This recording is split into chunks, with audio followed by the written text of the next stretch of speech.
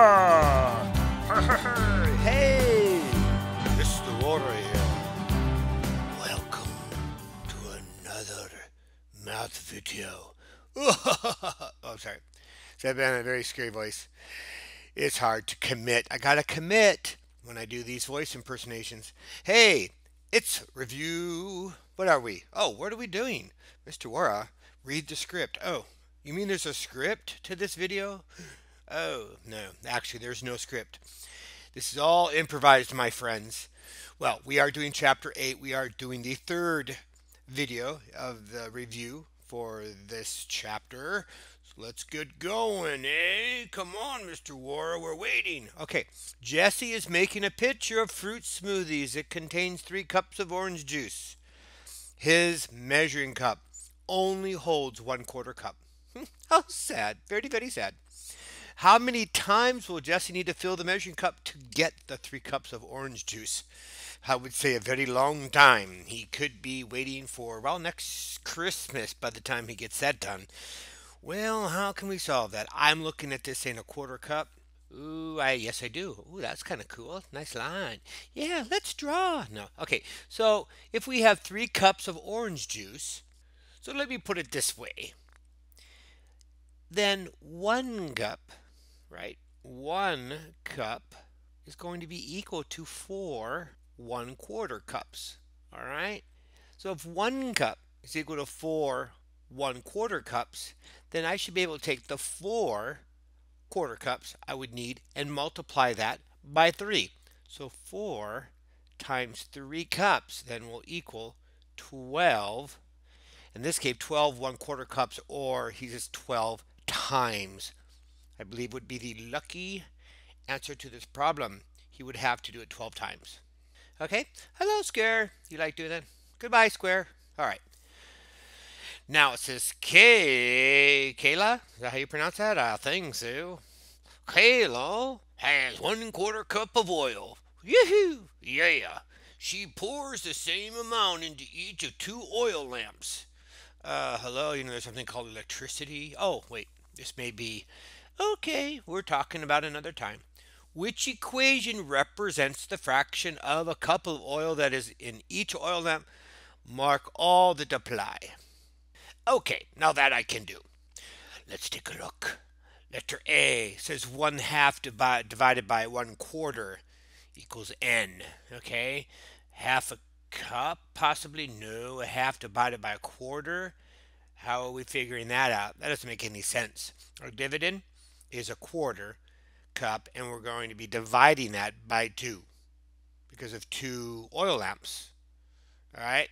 So a half divided by a quarter wouldn't make sense. So no, A, uh-uh, no thank you. Now B says one quarter times one half equals N. Interesting, they use multiplication. However, this is kind of tricky and this is kind of a hard thing to get conceptually. It even sometimes drives me a little bit crazy, if you know what I mean. And that is, is that one quarter divided by two is the same as one quarter multiplied by one half. See, there's his buddy down here. One quarter divided by two. I just saw him. E, I'm circling you in now. You are the chosen one. Yes, you are, because you are one quarter divided by two. But that also means that one quarter divided by one half, I'm saying one quarter multiplied by one half is also true. So I have two. What about the rest of them? 2 divided by a quarter? No. Oh, I can see they're switching it around. It's that two oil lamps divided by a quarter cup of oil. That's not what the problem says. And one, this is a comical one, 4 divided by 2. Yeah, that's the little one they try to trick you on, I guess. And 2 times 1 quarter, no, it's not two lamps, so we're not multiplying. This problem really is division. Okay, let's move on. Brandon made a loaf of bread. He gave equal portions of one half. Mm, equal portions. You should be noticing this. Why am I talking like this? I don't know. Okay. he gave equal portions of one half of the loaf of bread to six friends. Which diagram could Brendan? Ooh, look at they misspelled his name. Ooh, which way is it? With an O or an A? Make up your mind. Okay. Which diagram could Brendan use to find the fraction of the loaf of bread that each friend received? Mark all that apply. They say, mark all that apply. Okay, we can do that. A, it looks like, I don't know, is this a whole? It could be. This could be like one loaf of bread. So I would take any diagram thinking it is one whole. And then the dotted lines kind of give you an indication. Ooh, here's your halfway mark. Okay, that makes sense because he's not actually sharing a whole loaf, he's sharing a half. And there's a solid line there. And then we have one, two, three that are shaded. Well, he's sharing it with six friends. So that wouldn't make sense. Sorry, you're out of the running. You are not the chosen one. Sorry. Okay, and then we come down here, and then we got another solid line. Here's your one loaf of bread. Now we have, okay, looks like there's one here. And then we have two, three, four, five, six. There's six definitely in there. I like that. Now it's not he had to shade all six because which diagram could Brendan use to find the fraction of the loaf that he shaded with each friend? So each friend would get that amount. Yes. B, I like it. You are the next contestant on The Price is Right. No, just kidding. Okay, so now we move to C. C looks really weird. It's a big square. And but I also notice it's like one whole. And look at this, there's a little halfway line here. Okay, so here's a half a loaf of bread. And then again, one, two, three, four, five, six. It has been divided into six equal parts. There's your one. Yes. Bingo, ladies and gentlemen. We have a bingo right here. It's C. Uh, how about this one? D. Okay, what are these little little Triscuit little crackers. What is this? One, two, three, four, five, six, and then they're each in half. Okay, this diagram's a little confused. We need a whole part. There's no whole, and it really just looks like this person's really confused. So sorry. D, you are not dynamic today. Sorry. Time to move on. I think that was 18. All right. Now we come to your teacher gives you the problem 6 divided by 1 fifth. Okay. Yes, I did. I just gave you that problem. You're a teacher. That would be me. All right. It says draw a diagram to represent 6 divided by 1 fifth. Okay. I have to draw a diagram? Okay, let me go ahead and draw my diagram. I'll be back. And voila. I know, super speed. I went into my dark room and I started making these really cool figures. And look, this is what I have. It appears like I have a diagram to represent 6, and 6 is my dividend. Therefore, I made 6 squares. Yeah. And then because I'm dividing my sizing, my, my, my sizing group is 1 fifth. So it was divided into 5 equal pieces for each one of those wholes.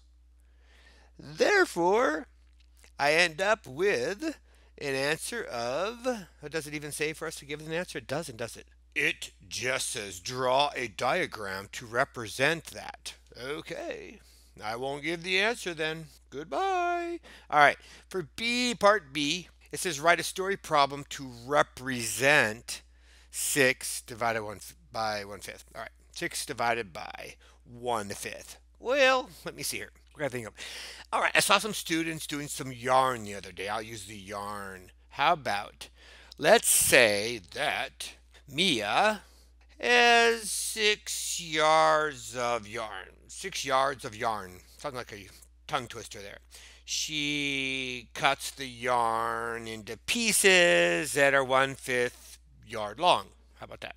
How many pieces of yarn does she have now? That could be a kind of an example. So let me see if I can't write that up really quick. And there you go. There is my story problem. Now part C says use a related multiplication expression to solve your story problem. Show your work. Oh, cool. I could do that. So we had six yards. I'm going to put my six yards. We were dividing it by, that's right, one fifth. And 6 yards divided by 1 fifth is equal to 6 times 5 because there's 5 pieces in each yard. Yard, yard. And then that's going to equal 30. And of course, that means 30. Ooh, this guy came back, huh? Okay. That means 30 yards. And let me try my cursive writing. Oh my goodness. Yeah. Wow. Okay. Now, seven friends picked seven quarts of blueberries. Three of the blue. Blah, blah, blah, blah, blah, blah. Three of the friends will share four quarts of blueberries equally. Let me come back over here. Woo. I keep underlining that word. And the other four friends will share three quarts of blueberries equally. Ooh, in which group does each friend get a greater amount of blueberries? Explain your reasoning. All right, I need to do some. Okay, so three of the friends will share three. I'm sorry, three of the friends will share four quarts of blueberries. All right, so if we have four quarts, divide that by three friends which each friend's can get one and one third. Okay. And then it says the other four friends will share three quarts. Okay, three quarts. I'm going to divide that by my four friends. Ooh, yeah, that's all they get. So, in which group, in which group does each friend get a greater amount of blueberries? Explain your reasoning. Okay, the group with the three friends will get the most this one, okay? And my reasoning behind it, well, the group of three friends, yeah, we'll get a greater amount of blueberries. And we figured out why. Because obviously, you're starting off with a little bit more blueberries and less friends. And here you're starting off with less blueberries, only three quarts, and you have more friends. Now, we didn't really even have to figure that part of it out, but we need to write our reasoning, which I will do momentarily. And there you go. The group of three friends start out with a greater amount of blueberries as compared to the group of four friends. Because the three friends, they start off with four quarts as opposed to three. Then the group of three friends have fewer people that they'll have to share with. So each friend is going to receive more blueberries. And just like that, I say cha-ching! Yes, another completed math problem. Oh, I wish there were more, but you know, this is the end of the line, you guys and I get really emotional at this point in the video. Very sad. Yes, it has come to an end. Yet another math video. But I promise you, there are more to come. Now with that, live long and prosper.